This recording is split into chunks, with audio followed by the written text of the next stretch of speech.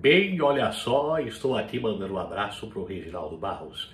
Eu desejo a você um Dia dos Pais maravilhoso, feliz Dia dos Pais. Eu sou pai de seis filhas.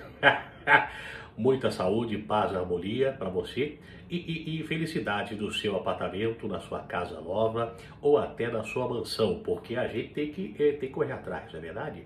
Eu era camelô e hoje sou o dono do SBT e do baú. Ai, tem um recadinho do Zaca para você. Fala aí, Zaca, olha só aí. Ô Reginaldo Barros, passando aqui para desejar um feliz dia dos pais, muito abençoado, com muita saúde e muita paz para você, tá bom? Como o nosso Silvio Santos falou. Um abração para você do Zaca, do Silvio e do Rodrigo Cáceres, tá bom? Um beijão para você e para toda a sua família. Tchau!